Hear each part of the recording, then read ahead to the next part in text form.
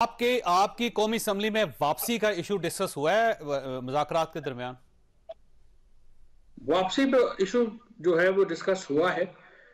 Directly नहीं हुआ indirectly हुआ है। हमने ये कहा है कि जी देखिए, अगर आप ये सूबों के इलेक्शन आगे लेके जाते हैं, इसको आईनी तरमीम आपको लानी पड़ेगी। क्योंकि अगर आप आईनी तरमीम नहीं लाते तो मौजूदा कैबिनेट और इलेक्शन कमीशन और तमाम वो लोग जिन्होंने इलेक्शन में रुकावट डाली है, वो आर्टिकल सिक्स को हिट करते हैं। और और अगर आप इनके खिलाफ कार्रवाई नहीं करते तो फिर इसका मतलब यह है कि पाकिस्तान में कोई भी आइंदा आने वाली हुकूमत इलेक्शन नहीं कराएगी। और एक बहुत बुरी रवायत जो है, वो कायम हो जाएगी, जिसके ऊपर काफ़ी हद तक एक कंसेंसस है कि कॉन्स्टिट्यूशनल अमेंडमेंट आनी चाहिए। लेकिन इसके लिए तो सुप्रीम कोर्ट काफ़ी है। जी, सुप्रीम कोर्ट ऑफ़ पाकिस्तान ने खुद आपको तजवीज दी है कि आप मुजाकर करें। और अगर आप ये डिक्लेयर कर देते हैं कि हमारे मुजाकर कामयाब हो गए और हम एक दिन पे इलेक्शन करवाने के लिए तैयार हैं सुप्रीम कोर्ट ऑफ़ पाकिस्तान का फैसला काफ़ी होगा। उसके लिए आपका असम्बली में जाना ज़रूरी तो नहीं है। नहीं सुप्रीम कोर्ट का फैसला काफ़ी नहीं हो सकता। उसकी वजह यह है कि सुप्रीम कोर्ट पाकिस्तान में सुप्रीम नहीं है। पार्लियामेंट पाकिस्तान में सुप्रीम नहीं है। और पाकिस्तान में सुप्रीम है, पाकिस्तान का आइन। और सुप्रीम कोर्ट को भी हक हासिल नहीं है कि वो पाकिस्तान के आइन को रोन दे, क्योंकि सियासी जमातों में कंसेंसस हो गया। सियासी जम, इसीलिए सुप्रीम कोर्ट ने ये कहा कि हमारी सजेशन ये है कि पार्लियामेंट आप आपस में बात कर लें, क्योंकि पार्लियामेंट के पास फिर ये इख्तियार हो सकता है, क्योंकि पार्लियामेंट सुप्रीम कब होती है? पार्लियामेंट तब सुप्रीम होती है जब 228 अरकान और सेनेट में 67 अरकान इकट्ठे हो जाते हैं और वो आइन की तरमीम करने की पोजीशन में आते हैं। इस वक्त उससे पहले आइन उससे पहले आइन सुप्रीम रहता है। तो चूँकि सुप्रीम कोर्ट आइन से बालातर फैसला नहीं कर सकती, लेकिन पार्लियामेंट की ये तादाद जब हो जाती है तो फिर वो आइन को बदल सकती ठीक। अच्छा ये फरमाइएगा, सर आज राना सनाउल्ला साहब किसी चैनल पे थे, मैं देख रहा था। वहाँ पे उन्होंने ये कहा कि अगर पीटीआई कौमी असम्बली में वापस आना चाहती तो उसकी सिर्फ़ एक ही शर्त है कि फिर असम्बली अपनी मुद्दत पूरी करेगी। फिर ये नहीं है कि आप आए और उसके बाद आप पंजाब के अंदर इलेक्शन करवा लें। तो क्या आपको ये ऑफ़र काबिल कबूल है आपके लिए असम्बलियों में आना रिलेवेंट है हमारे लिए। चूँकि कमेटी के मेंबर नहीं है तो उन्हें नहीं मालूम शायद कि गुफ्तगु क्या हुई है और वहाँ पे क्या बातचीत है। ये जो असम्बलियों में वापस आने का मामला ही इलेक्शन से जुड़ा हुआ है। आ, हम हम तो हुकूमत की सिर्फ़ मदद कर रहे हैं कॉन्स्टिट्यूशनल अमेंडमेंट ला के ताकि कल ये सारे लोग जो हैं ये आर्टिकल सिक्स से अगर बचना चाहते हैं तो कॉन्स्टिट्यूशनल अमेंडमेंट लानी पड़ेगी। अदरवाइज़ तो ये सारे लोग जो है ये डिस्कालीफाई हो जाएँगे। नहीं आर्टिकल सिक्स की तहत कार्रवाई करेंगे आप इनके खिलाफ अगर कल आपकी गवर्नमेंट आ जाती है। अगर ये नहीं कॉन्स्टिट्यूशनल अमेंडमेंट होती और इलेक्शन नहीं कराते तो किसी के पास भी और कोई चारा नहीं होगा। ठीक हो। अच्छा ये फरमाइए सर कि अभी बल्कि राणा सनाउल्ला साहब का ही मैं दोबारा आपको सुनाता हूँ बात। उन्होंने फरमाया कि इनको तो आपको, यानी पीटीआई को तो ये हमारे साथ मुजाकर करने चाहिए कि कहीं हम 8 अक्टूबर के बाद छह महीने के लिए इमरजेंसी तो नहीं लगा देंगे। चलिए राना साहब जो है, वो बेसिकली अगर तो देखें ना, वो तो एक्ट कर रहे हैं कि जैसे वो मार्शल लॉ हुकूमत के वज़ीर हैं, और अभी तक ज़ाहिर है वो हैं भी मार्शल लॉ हुकूमत के वज़ीर।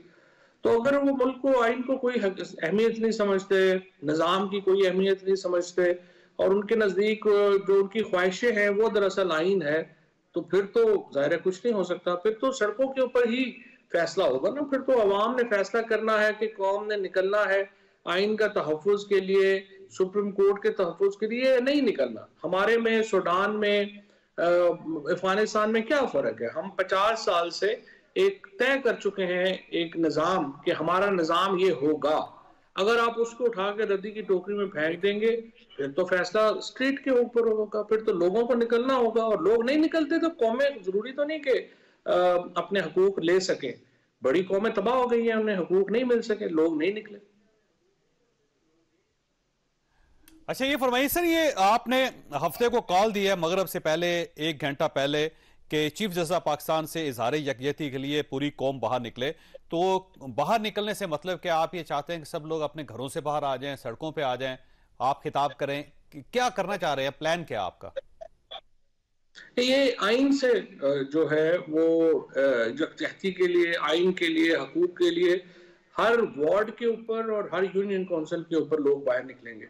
और जो इज्तमात हैं, वो तकरीबन आप समझिए कि हज़ारों की तादाद में इज्तम होंगे, जिसमें लाखों की तादाद में लोग जो है वो बाहर निकलेंगे। हर शहर के वार्ड में और हर यूनियन काउंसिल में यह एहतजाज होगा। लेकिन और इस एहतजाज को इमरान खान साहब लीड करेंगे? जी एहतजाज को इमरान खान लीड करेंगे। लेकिन वो आज तो उनकी तबीयत मजीद अलील होगी क्योंकि जो रिपोर्ट आई है उनकी टांग के बारे में कि वो ख़राब हो सकती है उसके अंदर इन्फेक्शन हो सकता है दोबारा सर्जरी हो सकती है तो क्या वो लीड कर सकेंगे? इस पोजीशन में होंगे वो? नहीं, वो तो ये तो लीड उन्होंने वीडियो स्क्रीन के ऊपर ही खताब करना है, पहली बात तो यह दूसरी बात यह है कि इंशाल्लाह ठीक हो जाएँगे। कल वो हाईकोर्ट गए थे तो हुआ ये है कि उनको एक सीढ़ी से जो है, वो थोड़ा ठोकर लग गई, जिससे जो कि उनकी शिन जो है, यानी जो सामने की हड्डी है क्योंकि वो अभी पूरी तरह हील नहीं हुई, वहाँ पे सोजन हो गई। लेकिन इंशाल्लाह वो ठीक हो जाएगी। अच्छा आखिरी सवाल आपसे ये फरमाइए, सर, आज आपने एक पिटीशन दायर की है कि केयर टेकर गवर्नमेंट्स की मुद्दत खत्म हो चुकी है। लिहाजा इनको खत्म करके ये तमाम अख्तियार दोनों सूबों के या सुप्रीम कोर्ट ऑफ़ पाकिस्तान अपने पास ले ले या फिर अपने नुमाइंदे तैनात करे। तो आपका मकसद क्या है क्या क्या सुप्रीम कोर्ट ऑफ़ पाकिस्तान दोनों सूबों के अख्तियार अपने पास ले सकती है? जवेद चौधरी उसके अलावा कोई और सूरत नहीं है, क्योंकि देखिए, हमारा आइन जो है वो दो बुनियादों पर खड़ा है। पहली बात यह है कि sovereignty belongs to Allah almighty और दूसरा यह है कि chosen representative of people of Pakistan जो है वो गवर्न करेंगे। अब ये सूरत हाल ये है कि नब्बे दिनों के बाद निगरान हुकूमत जो है वो सूबों में नहीं रह सकती। लिहाजा आर्टिकल एक सौ सतासी के तहत सिर्फ़ सुप्रीम कोर्ट को ये इख्तियार हासिल है कि वो आइन का, चूँकि एक बेसिक स्ट्रक्चर है आइन का, इससे बाहर नहीं जा सकता कोई भी। तो वो हुकूमत सुप्रीम कोर्ट भी यहाँ पे नहीं बना सकती। अब सिर्फ़ वो एडमिनिस्ट्रेटर अपॉइंट कर सकते हैं, जो डे टू डे अफेयर को देखें, इससे ज़्यादा गुंजाइश नहीं है। और इस वक्त जो तमाम इकदाम पंजाब हुकूमत और के पी हुकूमत कर रही है, वो गैर आइनी है। और मोहसन नकवी और वज़ीर अला जो के पी हैं, उनको डेफिनेटली इस के लिए जवाबदेह होना पड़ेगा। बाकी किसी को जवाबदेह होना पड़े, ना होना पड़े, इन दोनों को डेफिनेटली जवाबदेह होना पड़ेगा।